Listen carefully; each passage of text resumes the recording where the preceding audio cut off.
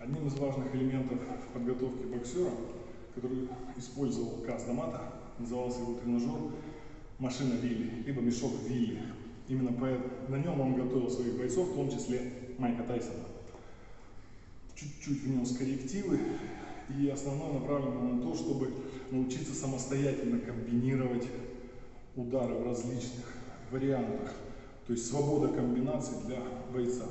Номера каждый выбирает для себя сам. Для удобства я выбрал 10 основных элементов, чтобы потом было легче комбинировать. Это я покажу чуть позже, объясню ключевой момент.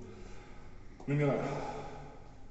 Левый прямой в голову, правый прямой в голову, левый боковой в голову, правый боковой в голову, апперкот левый, апперкот правый, левый по корпусу, правый по корпусу, левый прямой в корпус, правый прямой в корпус.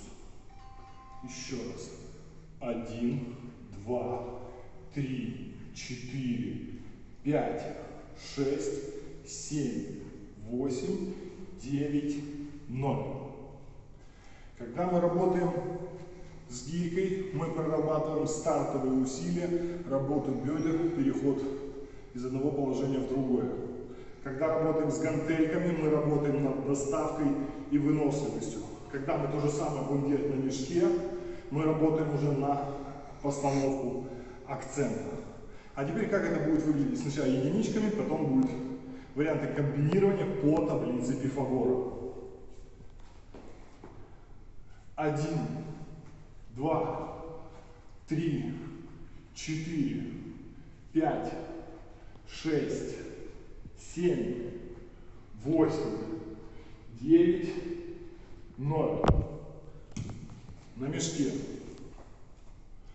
Один, два, три, четыре, пять, шесть, семь, восемь, девять, ноль. Переходим к комбинированию. Первый вариант комбинирования по таблице Пифагора. Когда первая цифра остается стабильной, меняется вторая цифра. То есть мы берем один удар и комбинируем его, продолжая со всеми остальными. Как это будет выглядеть? Один, один. Один, два. Один, три. Один, четыре. Один, пять. Один, шесть. Один, семь.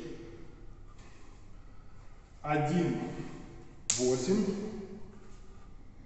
Один, девять. Один, ноль.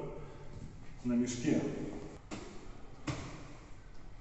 Итак, один, один, один, два, один, три, один, четыре, один, пять, один, шесть, один, семь, один, восемь, один, девять, один, ноль. Очень важный элемент. Цель должна быть неподвижной. Мы должны полностью врубаться. И таким образом мы прорабатываем все варианты. То есть сейчас мы рассмотрели, начинаем с левого прямого в голову и переходим на остальные. И потом проходим так по всем остальным ударам. То есть будет 2, 1, 2, 2, 2, 3, 2, 4. И так все цифры, включая 0. Второй вариант. Второй вариант таблицы Пифагора, это когда стабильный будет вторая цифра. То есть мы начинаем с разных ударов, но заканчиваем уже конкретным ударом. Как это будет выглядеть? С той же гирькой. Опять же остановимся на левом прямом в голову. Итак, вторая цифра стабильная будет 1, 1, 2, 1, 3, 1,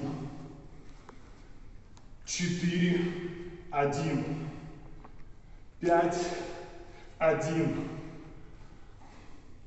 шесть, один, семь, один, восемь, один, девять, один, ноль, один. На мешке стабильная вторая цифра, соответственно. Один, один, два, один, три, один, четыре, один, пять, один, шесть, один, семь, один, восемь, один, девять, один, ноль, один. Итак, прорабатываем опять же все цифры. Мы найдем возможность комбинировать. Варианты комбинирования двоек, либо сдвоенных ударов в описании ролики я уже выкладывал. Но апогеем всего этого будет являться то, что впоследствии вы создаете комбинации самостоятельно. Например, взяв номер машины, либо взяв номер телефона. Поэтому у нас 10 чисел. И взяв любой из номеров, вы уже создаете любую свою комбинацию. Выбирая потом для себя удобную и делая ее. Но лучше начинать прорабатывать все варианты. Например, ну, любая комбинация из трех ударов. Значит, первые три цифры, скажи мне шаг. 531. 531.